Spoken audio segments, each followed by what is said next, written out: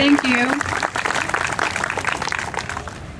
Over the past year and a half, these have been the board's decisions. Just a quick recap.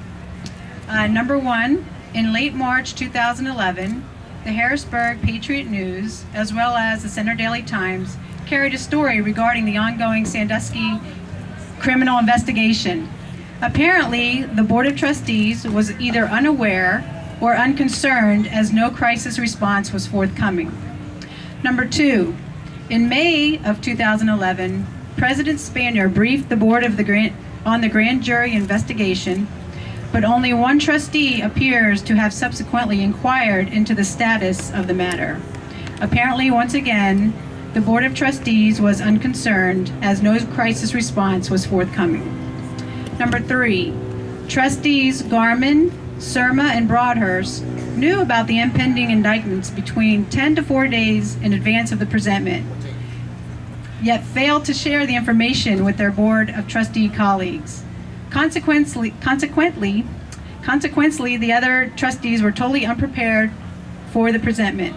Once again, no crisis response was forthcoming. Number four, the Board of Trustees quickly fired Joe Paterno and accepted President Spanier's resignation, presumably to take charge for themselves. Unfortunately, none of the members of the Board of Trustees were prepared to fill the leadership void created by the firing of Joe Paterno and the resignation of Graham Spanier. The result, no one stood up for Penn State while the media slurred us and inaccurately framed the Sandusky scandal as the Penn State scandal. Number five, Rod Erickson replaced Dr. Spanier, but he too failed to defend our great school for these unjust and untrue slurs. Instead, he apologized and continues to do so for the university, suggesting that to the public that everyone associated with Penn State is guilty as charged. The administration, the students, the faculty, alumni, everyone. Number six, the Board of Trustees paid Louis Freeh $6.5 million to do a comprehensive, thorough report on the scandal and Penn State. Unfortunately, he returned with something much less, and virtually no one on the Board of Trustees read it in its entirety, much less discussed it or debated its veracity. Number seven, the Board of Trustees refused to qualify, amend, counter, or dispute fundamentally unsubstantiated charges from Freeh, and without comment, delivered it to the NCAA, asking for a speedy resolution to the NCAA charges. The Board of Trustees wanted to move on. Number eight, the Executive Committee of the BOT and Erickson allowed themselves to be bullied into accepting unprecedented sanctions from the NCAA and gave up any right to appeal. Accreditation questions and possible huge Department of Education fines remain serious concerns.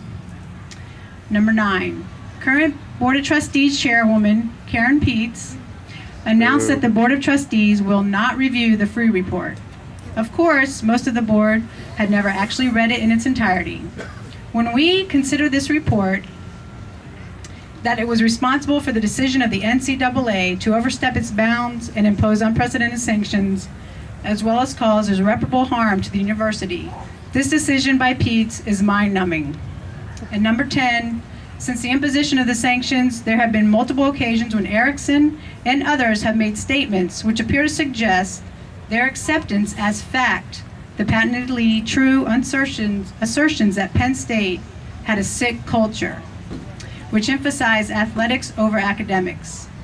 In fact, the only place at Penn State with a culture problem is the Board of Trustees. Thank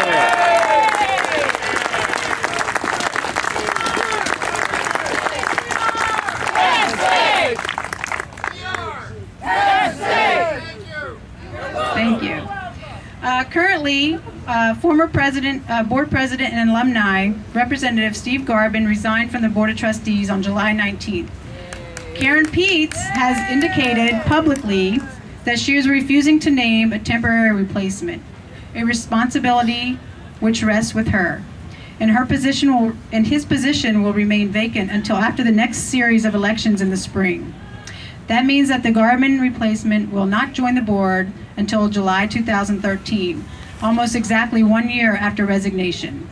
One can only assume that Ms. Peetz doesn't want an- yet another difficult alumni representative on the board until it is absolutely necessary or, and hopefully after she has left the board.